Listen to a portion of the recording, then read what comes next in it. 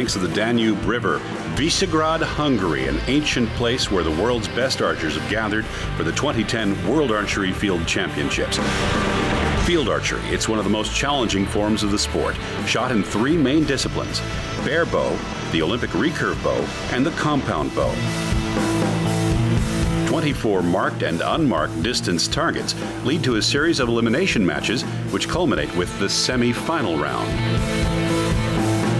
First up, the barebow matches, which saw Andrea Regel of Austria and Monika Jentges of Germany advancing to the bronze medal matches. Eleonora Strobbe of Italy and Christine Gauthé of France would advance to the gold medal matches. On the men's side, Sweden's Bobby Larsson would face Sergio Cassiani of Italy for the bronze, Pasi Ahjokivi of Finland, and Giuseppe Seimandi of Italy, shooting for the gold. Among the compound women, Gladys Willems of Belgium and Françoise Vole of France would shoot for bronze. Anne Lanty of Finland would face Isabel Danielson for the gold medal match. Now let's find out more from FITA's Tom Dielen. Okay, here in Visegrad we have 26 countries coming from four continents. And we'll see tomorrow uh, in the finals, we'll also have one of the finalists will be from Australia. So we have a wide variety of countries participating. Field archery means we're in a field, which could uh, also be in the forest. Basically, we have uh, distances set out in the field, and the distances vary from 5 to 60 meters. Uh, and uh, there's a variation in uphill and downhill shots. And uh, archery is challenged on every target with a different challenge. It's very critical to have a very good first shot because otherwise you start doubting on uh, what to do. In terms of the format of the competition, you start with a qualification round. They have all shot 24 targets unmarked, meaning they come to the shooting area and they have to determine the distance. Uh, and then they had 24 mark distances. The distances are a little bit longer. And we add those two scores to, together, and that gives the qualification round score. So the team round is one archer from each bow type. We have the compound and the recurve, which we are used to in the World Cup as well. We also have the bare bow, and bare bow means it's without any additional equipment. So there's no sight, no stabilizers. It looks like a bare bow. And they shoot together, one arrow per archer. So it's very much a team. They have to rely on each other and learn from each other to make a perfect shot. Speaking of perfect shots, this is the closest you're going to see. That's Dave Cousins of the United States, who would end up in the gold medal final up against Kevin Wilkey of the United States, the World Games champion of 2009. Reigning world champion Rod Menzer of the USA would face Jeremy Thierry for the bronze medal match. On the women's recurve side of the field, Christine Bjerendal of the legendary Bjerendal Archery Dynasty would face Naomi Folkard for the gold medal final. Jessica Tomasi, the reigning world champion, would take on Elena Richter for the bronze medal final. World champion Sebastian Rohrberg of Germany, who just shot, ended up losing to this guy, Al Wills. So it's going to be Al Wills in the gold medal final. Meanwhile, on the other semifinal match, this guy, Michele Frangilli, ended up losing to Jonathan Shales. So it'll be John versus Al for the gold medal. In the World Championships, there's also a team round, which consists of the top shooters from each discipline shooting for their country in a team format.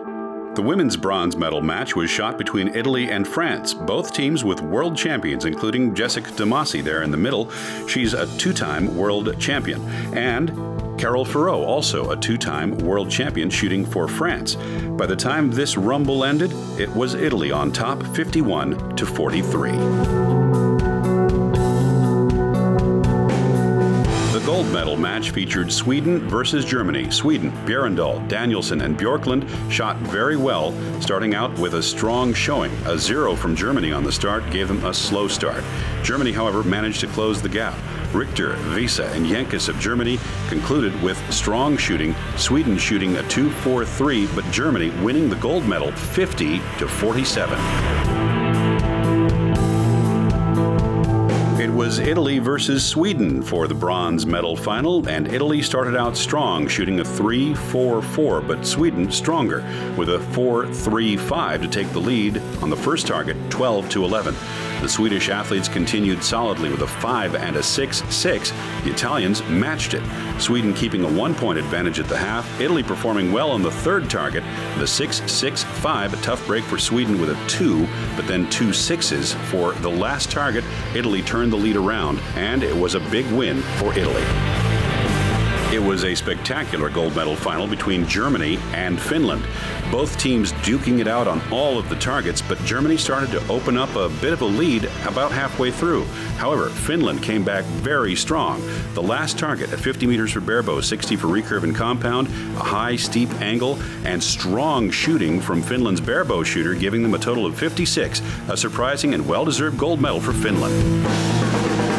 Now, on to the individual gold medal finals, starting with women's barebow. Christine Gauthé of France versus Eleonora Strobbe of Italy. Those two met at the World Games final last year in Chinese Taipei, where Strobbe won. Now, on the first target, at 40 meters, both archers were equaled, earning 12 points each, as you just saw on the scoreboard. On the second target, this one, the precision birdie target, Strobbe took a good advantage. She shoots a 4, 4, and 6 here. Gauthé had a 2, three, and a five. And by the time they finish with this target, the shooter from Italy will end up leading 26 to 22. Let's Three. watch.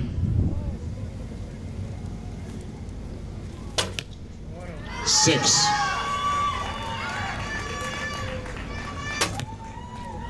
Five. Now, heading on to the third target, the mid distance target is at 20 meters. And both of these shooters are shooting very strongly. Five, four liner and a four. Four. Three. Six.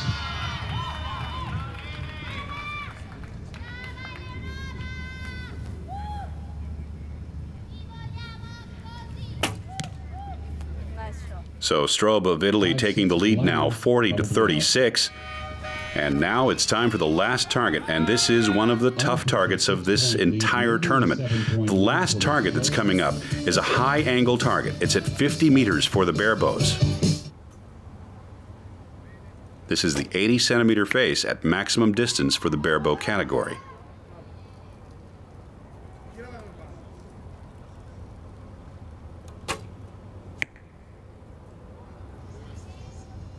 It's five point lead for Mistrova right now. And there is a one zero liner. And that is not enough to keep enough pressure on the World Games winner and impending world champion Strobbe. And a four. One last shot for victory. Five and the gold medal.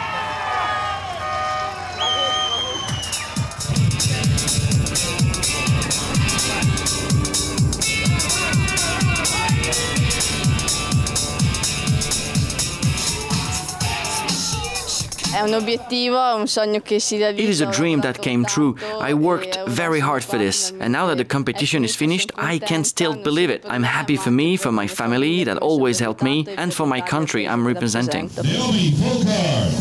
The gold medal women's match faced off Naomi Folkard of GBR. The gold medal representing Sweden, Christine Bjerendal. And Bjerendal is a name you've probably heard before if you know anything at all about archery, because her father is the legendary Swedish archer Jorn Bjerendal, multiple time field world champion.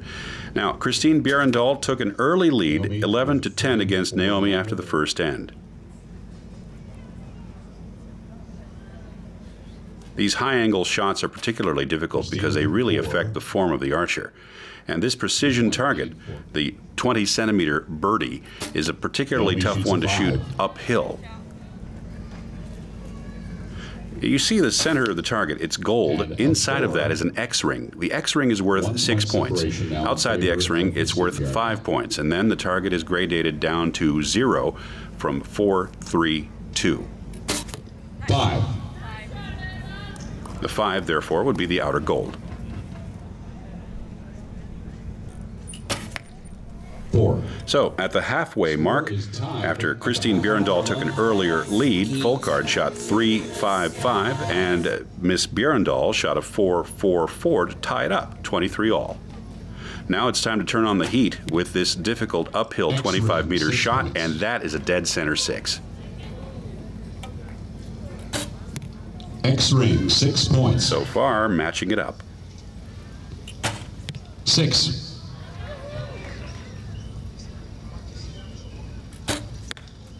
Three. Costly for Naomi Folkard.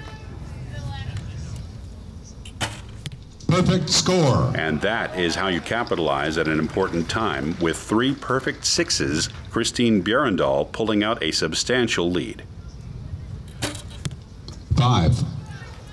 Now it's the last target, which is a particularly difficult one. This is an uphill shot, maximum distance of 60 meters on an 80 centimeter target. The angle is particularly difficult because of two factors. One, you have to cut a certain amount because the distance is not based on the distance to the target, it's based on trigonometry. When you're aiming that much of an angle, you've got to remove some of the actual distance to the target. You're going to take about 5% off. The problem is you're going to take about 5% off. It's going to be different for different shooters and it is going to be different for different targets. Both archers ended up with a 4 for the first shot, and there's another four for Naomi. With a four point deficit coming into this final target, Naomi's going to have to do better than that. All Christine has to do is stay with her opponent. And that actually locks up the gold medal. That is a clinch for the title. A brave last shot from Naomi, but not good enough to even score. Unfortunately, it is a big win. The family tradition continues for the Bjerendals. At the beginning, I had a little bit the shaky legs. But in fact, I was not as stressed as I imagined. I felt very calm during this final.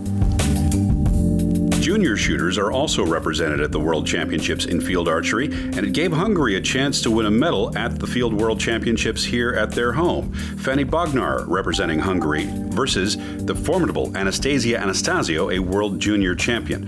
Bognar was a little nervous on the difficult first target, started out with a 1, but continued on with a 5 5. However, the highly experienced Anastasia Anastasio put a big lead on her opponent from Hungary, and by the time things were finished, Anastasia Anastasio was the winner of the bronze 56 to 47. Shooting for the gold medal, representing Sweden, Isabel Danielson. Sweden's Isabel Danielson. Shooting for the gold medal, representing Finland, Anne Lanti. Anne Lanti, better known to many shooters as Anne Laurila, her maiden name, and it is the gold medal final, obviously, for compound, and here is the first target. Opening arrow is a four. Six. So a very strong start for Anne Lanti. Danielson with a five. Lanti with a five. So Anne Lanti keeping up the lead right now, two arrows in, 10 shots to go. With a four. This is a very tough target. It is uh, at about an angle of 35 degrees. It requires about a 6% cut, and it really messes with the archer's form. 6 5 4 and 15 points to start out the match. Anne Lanti taking the lead 15 13 over her opponent from Sweden. Now on to the second end. Miss Danielson with a six. And Lanti with a four. And that is not helpful on that type Five. of target. Five points on that shot. Four. Again, damaging for Anne Lanti. Five, six, just kicked in. A 6 And 5 6 for Danielson, and Anne Lanti now ends up trailing by one at the halfway mark. There's a small separation for Miss Danielson's arrows, so we're going to let the judge make the final determination. And the judge ended up calling that arrow in. Isabel Danielson, maybe. Now on to the third target. Dead center. And a six as well. This is a 25 meter shot on a 40 centimeter face at a moderate angle. So it's more of a precision Five. shot. Compounds should be able to keep it in the gold the whole time, but it's not always the case. Five points. Six. Isabel Danielson increasing her lead to two points. 656 giving her 47 points for Isabel Danielson, and that gave her a two point lead, 47 to 45 for Anne Lanti, shown here. Now on to the fourth target. Four. And Lanty has shot a five. So a five six. from Anne Lanti on that shot, It and it is going to be a tied score if there's another four out of Miss Danielson. five. And as you see it right there, that's the case. It's tied going into the final mm-hmm. arrow. With 12 seconds left, Danielson just shot a three. Lanti shoots a five to become the new world champion, 60 to 58.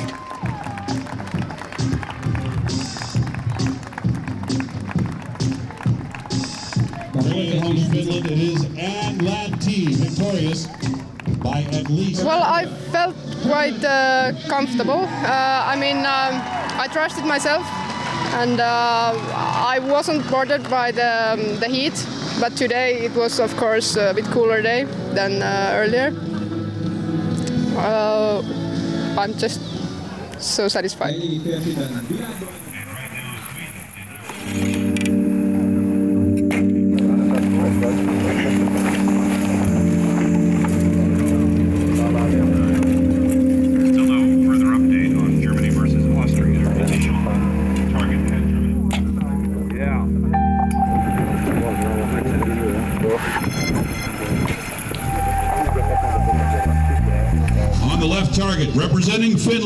Pasi Shooting for Italy on the right side, Giuseppe Seimandi. It's the barebow men's gold medal final.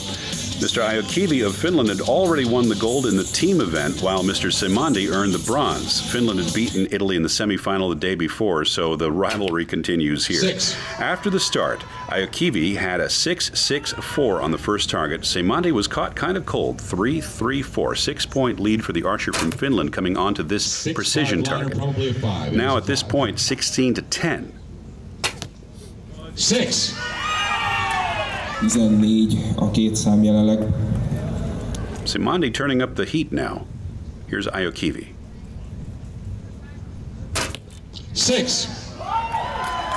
Both shooters at the pinnacle of performance. Six. But that's a perfect score. Ahjokivi is still in position to keep his lead, but he needs to keep it in the gold. And he does. Five. Just out. Now it's time for the third target. The third target for these shooters is a 20 meter, 40 centimeter face. Again, an uphill shot, which is always very challenging for an archer.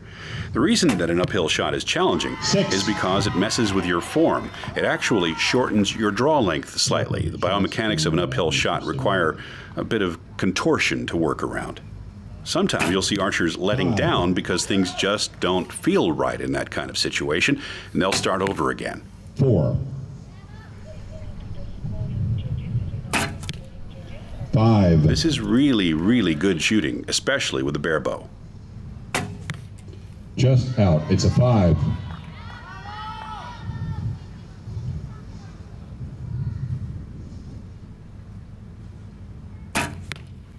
Six, five rather, five points. So a six, a four, and a five for the archer from Italy, a five, a five, and a five for Mr. Ahjokivi of Finland. And he really made the most of his time on the clock. You didn't see it on screen, but uh, Ahjokivi took things down to the very last few seconds. He's still in the lead right now going into this last tough target, 47 to 43. Four. Seimandi has a Field World Championship under his belt. He earned it in 2006 in Sweden. Four. With a lead like that, all Ahjokivi has to do is keep the arrow somewhere close to the gold. Three. Final. The Flying Finn, Ahjokivi becoming team and individual 2010 world champion 57 to 55.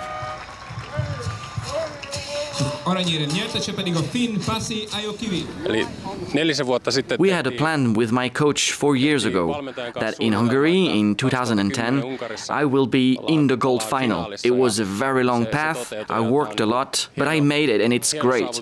I feel very, very happy.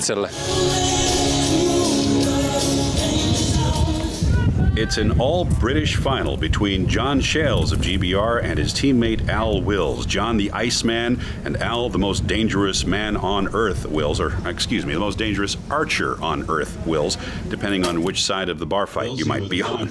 Al Wills started well with a 4 5 6, while Shales was a notch under with a 4 4 4. For a three point deficit at the very first target, 12 to 15. Here we are on the 15 meter precision target. Al Wills with a pair of fours so far. John Shales has been taking a long time to shoot each shot on this target. His first arrow was a three.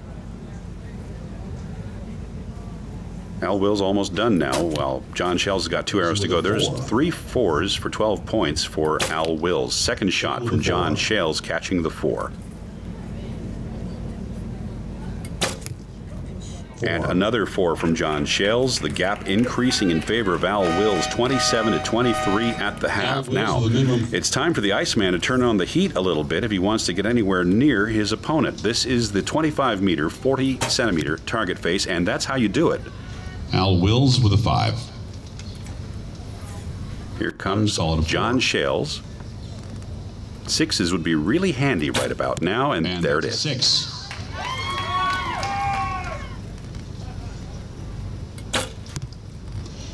And that is a five for John. Six.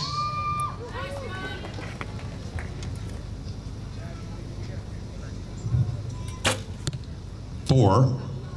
Al Wills is running out of time. You don't see it on the clock, but at the moment, Al Wills really needs to cut this shot loose. He's down to 20 seconds left on the clock.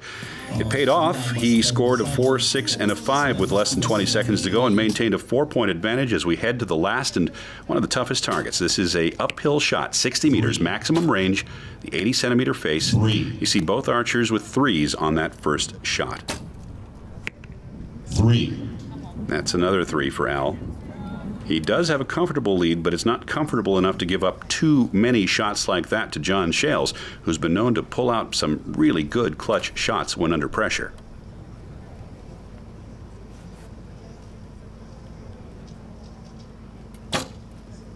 And John Shales maintaining a four on that shot. Final arrows. Wilsey is going to need a really good shot here if he wants to clinch the gold. Well, that's how you do it.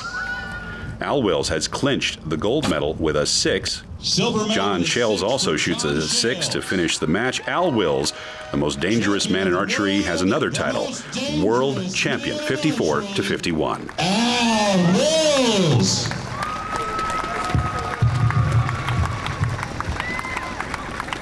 A világbajnok Ellen Wills Nagy-Britanniából Shooting for the championship of the world.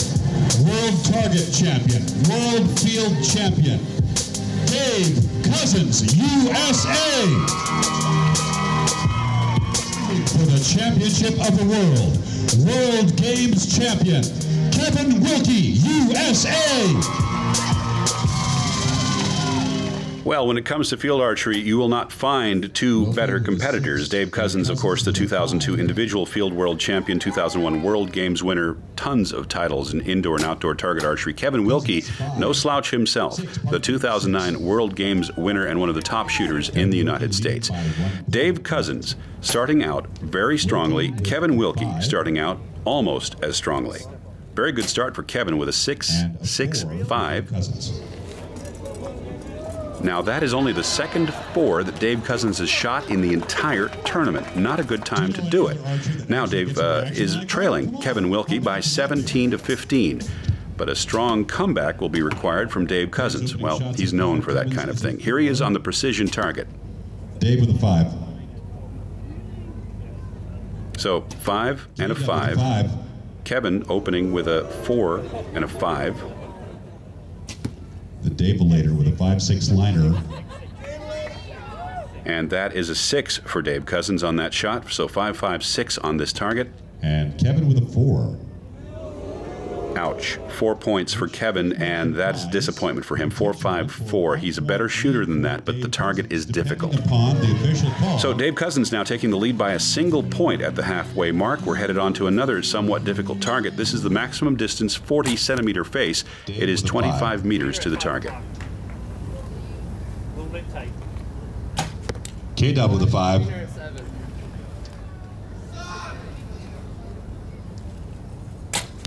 Ten. That's a six. Sixes would be handy.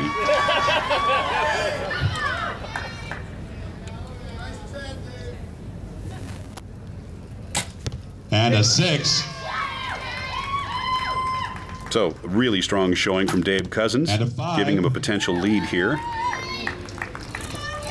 Unofficial three so a three-point gap right now, 48 to 45 in favor of Dave Cousins.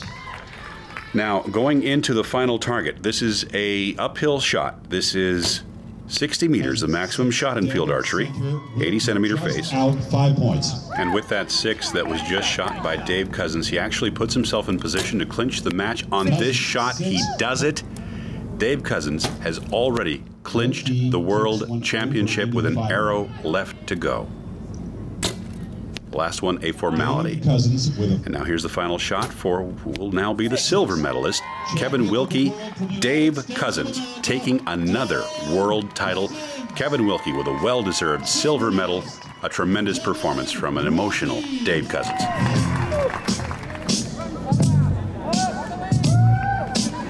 And so it concludes the World Field Archery Championships in Visegrad, Hungary, the individual finalists, the elite categories, with Dave Cousins adding a title to his big collection of titles, and other winners, well, they're world champions for the first time in their lives.